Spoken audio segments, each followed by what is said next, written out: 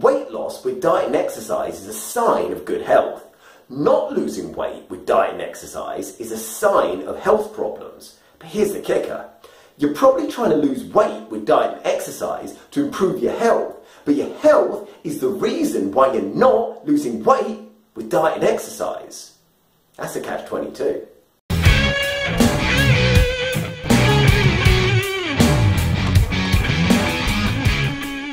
So let me help. If you haven't, check out part 1 and 2 to give this video context. This video is an outline of a 12-week program to get you back on track. 12 weeks may seem like a long time, but if you just continue to hammer on with diet and exercise, or binge and stop training, it'll put you back even longer sometimes years. So lock away the scales and resist the urge to go on a junk food bender. How people seem to lose weight exists on a spectrum. On one end, there's the physics-based, calories in, calories out focused, where your body, where your food, analyze and chart everything. The more precise you are with your calculations, the better your weight loss will be. On the other end is the biology-based, hormone-focused, toss the scales, listen to your body, get in tune with yourself, don't chart or calculate. The more in touch with your body's reaction, the better your weight loss will be. Both are effective, and everybody lies somewhere on this spectrum. If you're struggling with weight loss, find your solution from the best parts of both ends. If you've broken your health with your diet, it's going to take time, effort, and energy to mend it. But repair is still your best option because currently there's no tech or gadget that can mend your ill health. And if you do heal your health, you'll learn something life changing about you in the process. 1. Health, and particularly endocrine issues, can create havoc with weight loss, and solving endocrine issues is a complex subject. But simply put, hormones need fat for their production, the glands need protein for their regeneration, and the cells need a steady and sufficient flow of blood glucose so that they're not working in an emergency state all the time. So you need to normalize your calorie intake.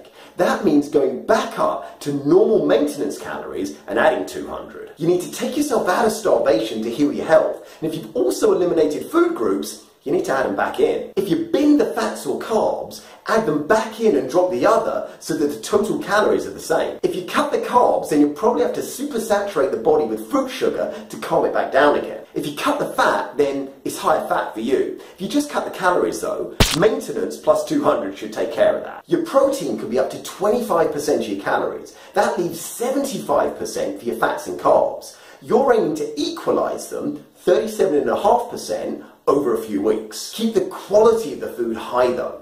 As an adjunct to this, you can also look at supplementing the adrenal and thyroid function with tablets. I've seen these work really well, but you can also try ashwagandha and rhodiola, which have a calming effect on the adrenals. You'll know if it works because after a month, you'll feel better, more balanced, less fraught, no cravings, more in control. 2. During this time, maintain or improve your muscle mass. This means resistance training, free weights or machines. Reps can range from 5 to 25, but it's not so much about the reps, it's the reps in relation to the weight and the exertion. Some people like higher reps, others lower. Both are successful. It's what works for you. Whatever the rep range you do, the issue is the strain. You need that same level of exertion as if you're trying to take the lid off a jar or pull the cork out of a bottle. You know that? If you can work at that effort for 8 or more reps, then you're golden. You want to do 40 to 50 efforts in total, so from that you can work out the sets. I believe in compound movements and free weights, but only if you know how to do them. If you don't, and you don't want to learn, then use machines. Either one will increase muscle mass, and the pros and cons of them is beyond this problem. Just progress in reps and weight. Pay special attention though to rebalancing your stabilizer muscles and core, and train your core every single day. Three, your biomechanics are vital even if you're doing machine weights. Biomechanics are a huge topic needing multi-videos, but if there were four tips, they'd be retract your scapula, pull your belly button into your spine, bend with your hips, and keep the arch in your foot in every movement.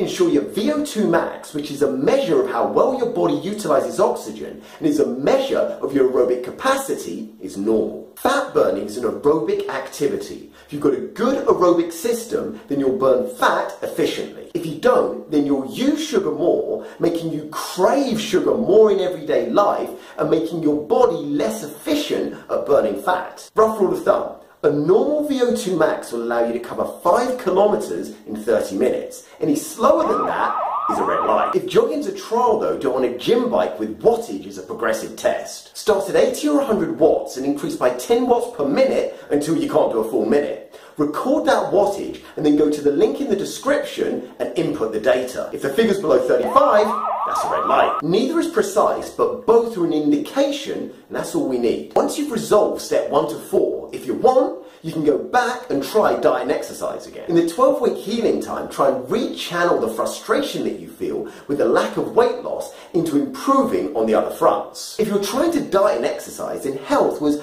probably a part of the reason. This detour is still in the same direction and will still get you there quicker than if you have to get towed to the garage or worse than that, return home. Mental doggy bag time. 1. Normalise your food intake again. 2. Increase muscle mass. Get stronger and more balanced, especially in your shoulders, hips, back and abs. 3.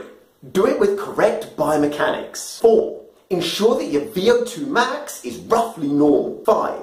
Allow at least 12 weeks and then if you feel ready, go back and try and lessen your calories or food group restrict if you feel that you have to. But remember, the a temporary measure that leverages off your good health. To reach diet and exercise, you're bouncing off your health. And even though you're doing it for your health, prolonged dieting for most will weaken it. I hope this helps. If it did, hit the like button. And if you think it's bona fide, then please subscribe.